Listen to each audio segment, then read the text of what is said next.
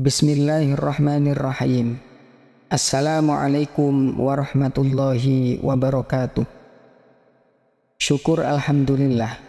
Senang sekali rasanya kita bisa berjumpa kembali di channel ini.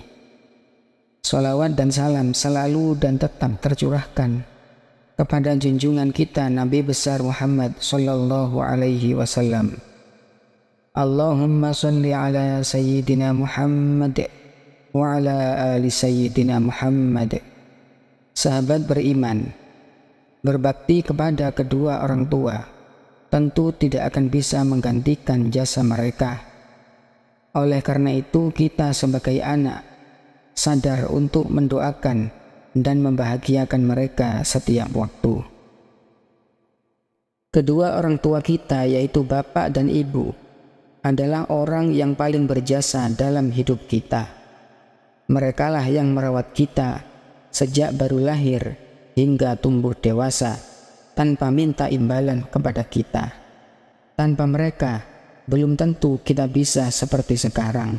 Mereka pula lah yang memberikan cinta kasih dan sayang yang murni pada kita. Mereka juga rela berkorban untuk kita tanpa meminta balasan sedikit pun.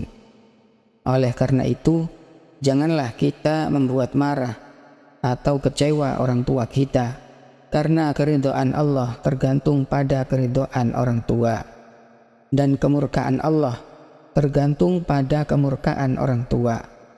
Maka dari itu sayangi dan hormatilah mereka. Rasulullah Shallallahu Alaihi Wasallam bersabda, "Ridallahi fi ridal walidain." ridho Allah terletak pada ridho kedua orang tua.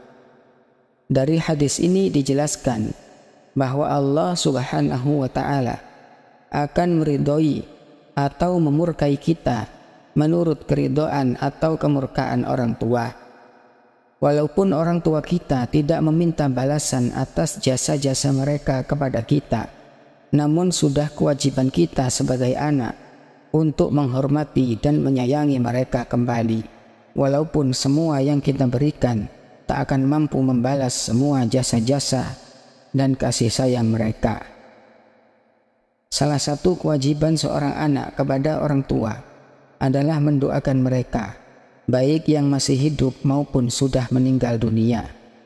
Berikut adalah doa untuk kedua orang tua kita. Bismillahirrahmanirrahim. Allahumma ghafirli dhunubi wa liwalidayya وارحمهما كما ربياني صغيرا. ولجميع المسلمين والمسلمات والمؤمنين والمؤمنات الأحياء منهم والأموات وتابع بيننا وبينهم بالخيرات. رب اغفر وارحم وأنت خير الراحمين. ولا حول ولا قوة إلا بالله العلي العظيم. Ya Allah, berikanlah ampunan kepadaku atas dosa-dosaku dan dosa kedua orang tuaku. Dan kasihanilah keduanya, sebagaimana beliau berdua merawatku ketika aku masih kecil. Begitu juga kepada seluruh kaum muslimin dan muslimat, mukminin dan mukminat, baik yang masih hidup maupun yang sudah meninggal dunia. Dan ikutkanlah di antara kami dan mereka dengan kebaikan Ya Allah, berilah ampun dan belas kasihanilah, karena Engkaulah Tuhan yang lebih berbelas kasih. Dan tiada daya dan upaya kecuali dengan pertolonganmu.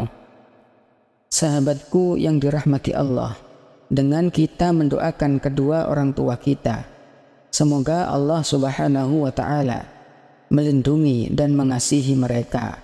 Dan apabila mereka sudah meninggal dunia, Semoga dosa-dosa mereka diampuni dan mereka ditempatkan dalam tempat yang terbaik yaitu di surganya Allah Subhanahu wa taala. Amin ya rabbal alamin. Wassalamualaikum warahmatullahi wabarakatuh.